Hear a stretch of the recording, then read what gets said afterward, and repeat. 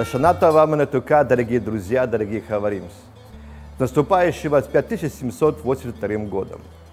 Мадимс – это Божьи праздники, которые важны для всего человечества и еврейскому народу тоже.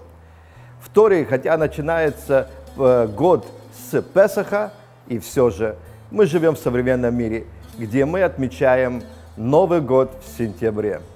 Дорогие друзья, этот праздник, другими словами, еще называется праздником труб, где трубят в трубы для того, чтобы напомнить нам о последнем времени.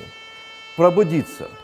Пробудиться от сна, пробудиться от своего состояния человеческой депрессии, обстоятельств, скинуть себя немножко ковид, правда?